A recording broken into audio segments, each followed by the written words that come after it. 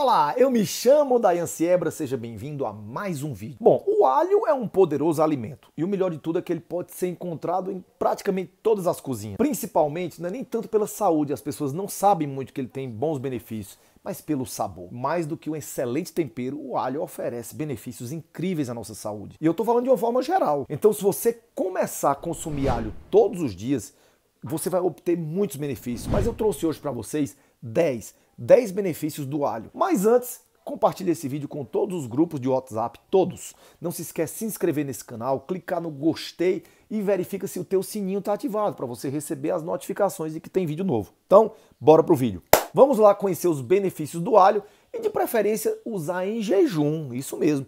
E o primeiro deles, auxiliar no emagrecimento. Quem não quer, hein? E antes de mais nada, eu quero te dizer que esse alho em jejum, ele deve ser consumido preferencialmente com água. Mas fica até o final que eu vou te ensinar como fazer. Bom, o alho ele auxilia no emagrecimento por ser um potente termogênico. Então, termogênico quer dizer que ele acelera o metabolismo. Então, ele vai ajudar a queimar tuas calorias. Ele vai aumentar o teu gasto de energia. Segundo benefício, o alho melhora pele, cabelo e unha. O alho é fonte de diversas vitaminas importantes que vão impactar diretamente na, na, qualidade da pele, cabelo e unha. Vai impactar tanto a qualidade como a velocidade de crescimento. Então, pessoas com unhas amareladas, quebradiças, cabelos mais ressecados, quebradiços também, essas pessoas podem se beneficiar com o uso diário de alho. Terceiro benefício, o alho ajuda a eliminar toxinas do organismo. Estudos apontam que o alho possui ativos que potencializam a desintoxicação do organismo. Isso em relação a diversos agentes tóxicos. E além de eliminar toxinas, ele ajuda a prevenir o acúmulo de outras toxinas. Quarto benefício, o alho ajuda na eliminação de parasitas intestinais, ou seja, lombriga, verme. O alho possui um composto sulfurado chamado alicina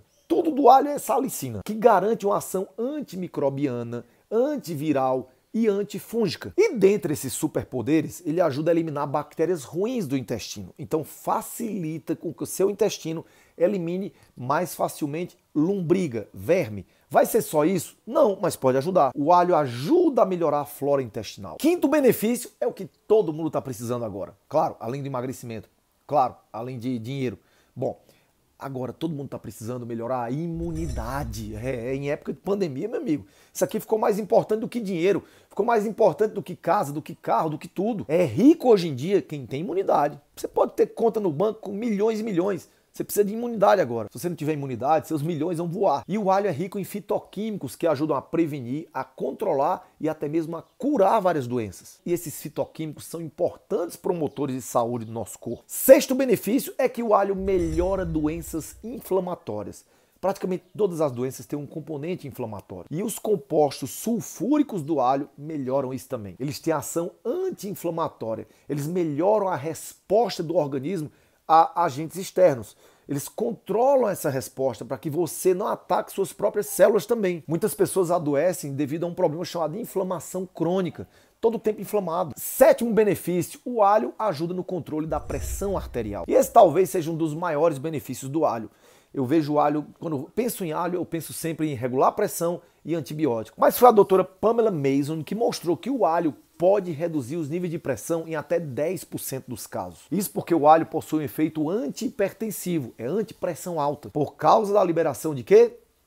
Alicina. Oitavo benefício, alho melhora a circulação do sangue. Mais uma vez, a alicina que ajuda na prevenção da obstrução dos vasos, do entupimento. E quando você ajuda a prevenir a obstrução dos vasos, você melhora a circulação sanguínea. Nono benefício, o alho melhora a saúde cardiovascular, ou seja, coração e vasos. Então, por melhorar a pressão e por ajudar na prevenção do entupimento das artérias, só disso aí ele já melhora o coração e os vasos. Mas se fosse só isso, tava bom demais. Mas ainda tem mais. Ele ajuda a equilibrar os níveis de colesterol e baixa os triglicérides, que é um tijolinho essencial para formar placa nas artérias. Décimo benefício, também uma coisa que a gente precisa muito agora o alho ajuda a evitar doenças respiratórias. E o alho ajuda a estimular as funções expectorantes, fluidificantes do sistema respiratório. Ou seja, ele ajuda a eliminar catarro. E ele também é antisséptico, ele dá uma limpada no pulmão e nas vias respiratórias. Em época de Covid-19 é tudo que a gente precisa. É por isso que a tua avó, é por isso que a tua tia, é por isso que a tua mãe, sempre quando você está gripado, ela vem para você com chá de alho. Não é só gripe não, quando você está gripado, quando você tem ronco, quando você tem asma, bronquite, todos esses problemas respiratórios, o chá de alho ajuda muito. O alho em si. Agora, como eu prometi no começo, como é que faz a água com alho? Primeira coisa que você vai fazer, antes de dormir, você vai pegar um dente de alho e vai picar, ou vai cortar e vai colocar num copo d'água à noite. Você coloca isso na geladeira, cobertinho com a tampa, no outro dia, em jejum, toma essa água. A gente já sabe que as propriedades do alho se perdem bastante no processo de cozimento, então você deve usá-lo assim. Prefira o alho cru. Agora, olha só, existem contraindicações.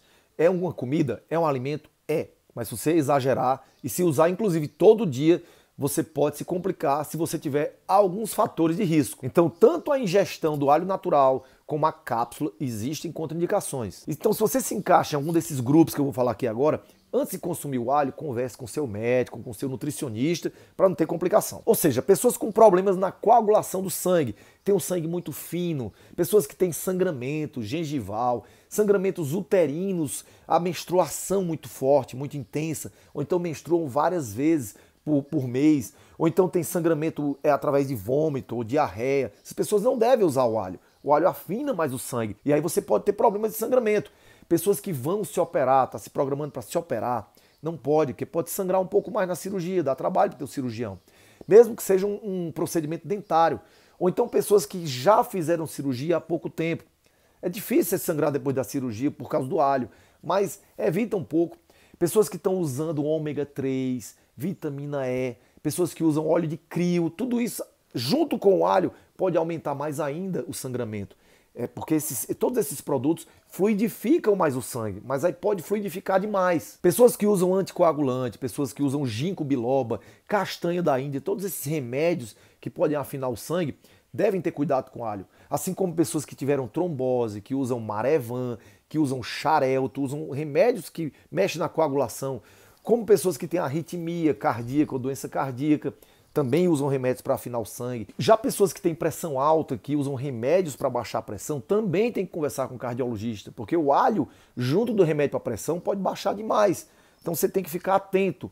Pode ser até que você nem precise mais do remédio da pressão depois que você começar a usar alho. Então tem que conversar com o teu cardiologista. O problema é que eles às vezes acham que isso não é nada, que não serve para nada. Então esse é o problema. Outra coisa, pessoas que têm pressão muito baixa. Tem gente que tem pressão 8 por 6, 10 por 6. Tem que ter cuidado com alho, que pode baixar demais. A questão é, sempre escolha opções saudáveis, mas converse com seu médico. Se ele não estiver sabendo do que se trata, se ele não conhecer o assunto, mostra ele o vídeo, pede para ele se inscrever no canal. Que tal? E eu queria saber de você, você costuma usar alho todo dia como se fosse um remédio? Você já usa água com alho? Quais são os benefícios que você adquiriu? O alho no teu dia a dia tem feito que benefício? Outra coisa, quero te lembrar que você pode assinar a nossa revista mensal Viva com Saúde e adquirir conteúdos, receber no seu e-mail a precinho bem pequenininho. Vou deixar o link aqui embaixo para você fazer parte do clube da revista Viva com Saúde. E um grande abraço, viva com saúde, viva com paixão, com Deus no coração. Tchau, gente!